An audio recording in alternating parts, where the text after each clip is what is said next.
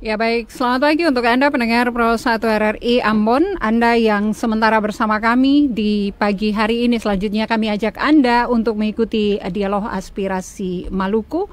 Hari ini Jumat 19 Maret 2021. Selengkapnya Anda akan bersama dengan rekan saya Lina Tehupuring justisia untuk memutus mata rantai COVID-19. Kemudian banyak dana yang dialokasikan situasi masyarakat dalam saat ini aspirasi Maluku.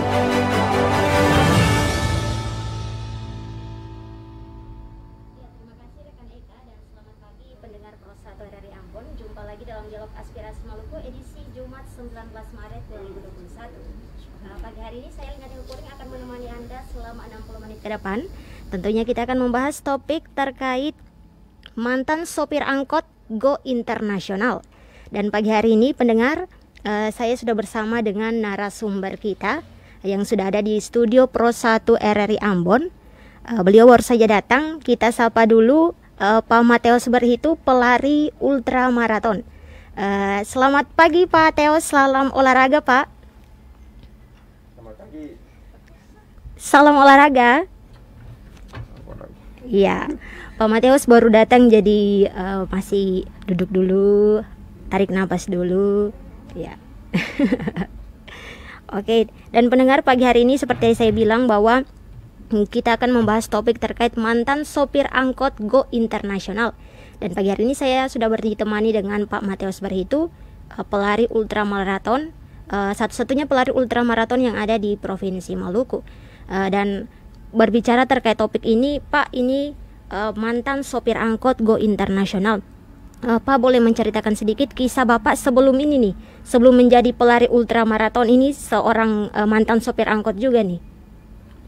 Ya, pertama-tama selamat pagi buat semua ibu-ibu bapak yang ada di tempat ini juga ya.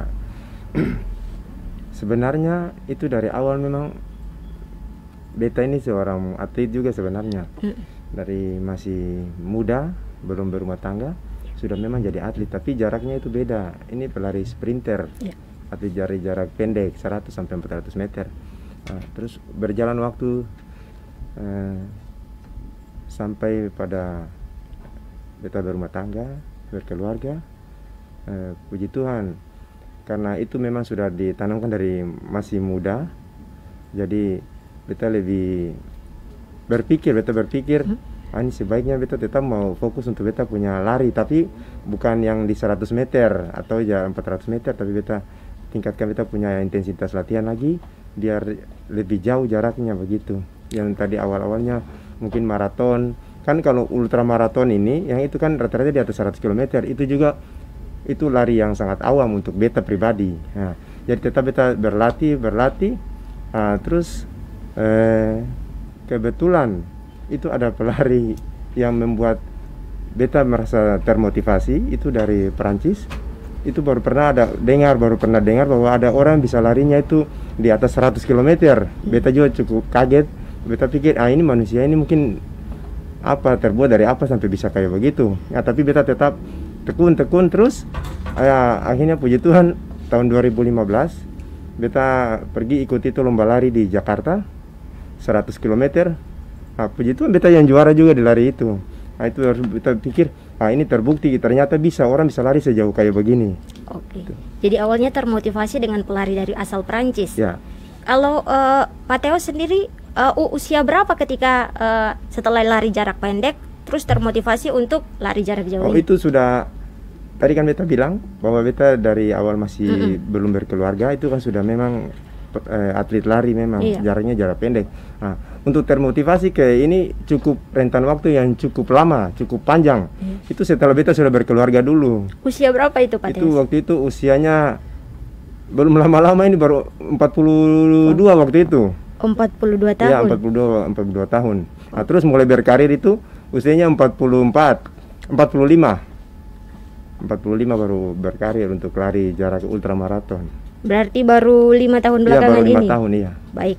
Lalu Pak uh, Teos, uh, prestasi-prestasi yang sudah diraih itu pertama kali uh, mengikuti lari 100 km itu informasi dari mana terus uh, bagaimana untuk pendaftaran itu kan masih awal jadi pasti mandiri secara mandiri untuk uh, mengikuti kejuaraan itu ya karena sudah pernah dengar informasi mengenai lari-lari begitu kebetulan eh, ada beta punya anak beta bilang coba cari yang ada lari-lari yang kayak hmm. begini di Indonesia ternyata ada nah, terus beta bilang coba tolong daftarkan bapak mungkin bapak bisa ikut kah ya. nah, ternyata waktu daftarkan itu ada respon juga dari dari Jakarta karena larinya itu kan pertama di Jakarta tuh hmm. nah terus mereka bilang oh ini Bang Mateus ini harus ikut lari kayak begini nih karena mungkin karena mungkin termotivasi karena baru pernah orang Maluku orang Ambon ini hmm. yang pergi ikut daftar lari seperti okay. kayak begitu pertama kali iya pertama kali nah terus waktu beta yang tadi beta bilang tadi beta ke sana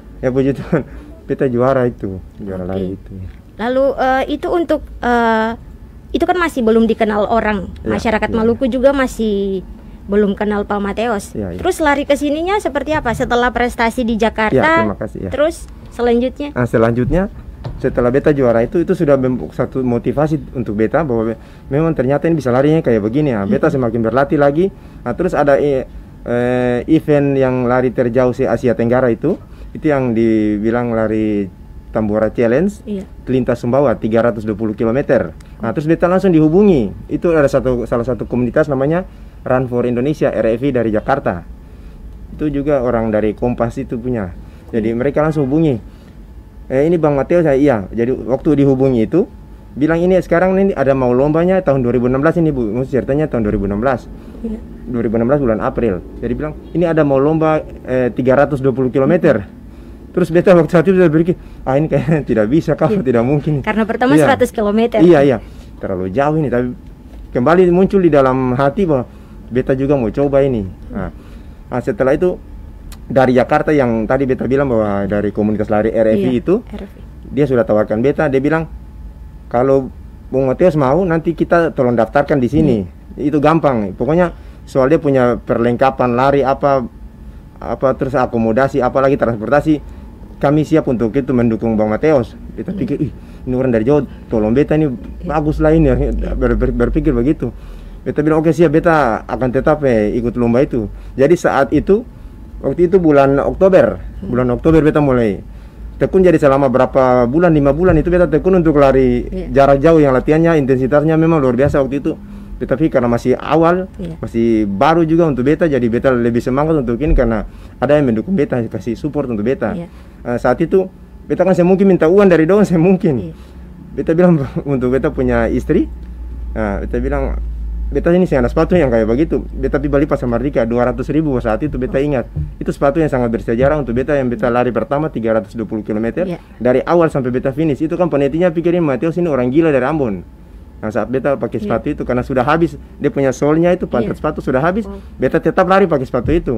Nah, itu mereka bilang ini mentalnya juga ini bagus ini perlu di, dipelajari apa diikuti sebenarnya nih ya. Beta pikir ya sudah puji Tuhan karena Tuhan memang tolong beta. Saya ada yang jago saya ada yang bilang apa pun yang hebat dari katuan tapi itu semua kemurahan Tuhan saja untuk beta saat itu. Jadi pada saat ikut Tambora Challenge itu raih juara juga? Iya dapat juara satu. Dan puji Tuhan saat itu beta juara satu 2016 itu bulan April dan juara duanya tiganya tuh kan tidak ada.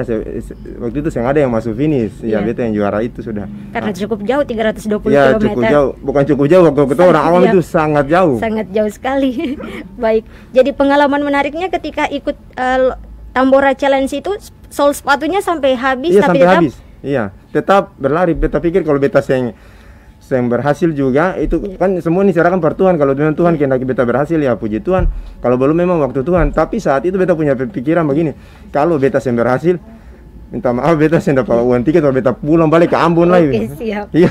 Jadi tetap termotivasi sekali ya. Iya termotivasi. Apalagi iya, uh, ingatnya tiket pulang gitu. Iya. Kalau itu yang yang lucunya, beta pikir beta bawa orang foto, beta setengah mati lagi. iya iya iya. Jadi banyak pikiran yang iya, banyak pikiran. lebih memotivasi. Jadi termotivasi, beta termotivasi. Waktu ibu beta saat itu beta cerita ini, itu kaki-kaki beta tuh telapak kaki sampai semu- seluruh tubuh dari kepala sampai kaki itu semua rusak semua rusak dalam hal kalau di otot ini hancur sudah pokoknya Iya. saya bisa sama sekali. Sedangkan telapak kaki itu kukunya lepas dalam sepatu pun beta susah rasa susah rasa apa-apa lagi karena beta termotivasi harus beta juara. Iya. beta harus berhasil saat itu. Baik. begitu. Jadi selain dapat transport pulang, tinggalkan mobil milik orang, iya. Katong latihan juga. Iya. Siap. Terus itu kira-kira yang 320 km jar- eh, berapa hari yang diperlukan untuk eh, ah waktu saat itu pertam- permulaan itu beta dapat waktunya itu dua hari Wow, iya Pokoknya dua siang dua malam waktu itu dua hari. Iya baru beta juga kan berpikir baru pertama kali Seng tidur saat itu, seng makan juga itu selama itu lari saja lari, seng pernah makan itu cuma minum air, konsumsinya air saja. Tapi Seng bisa tidur. bertahan selama Iya, bisa dua hari bertahan. itu. Karena itu yang tadi beta bilang ibu, termotivasi, seng ada Siap. seng juara, seng dapat tiket uang pulang. Siap.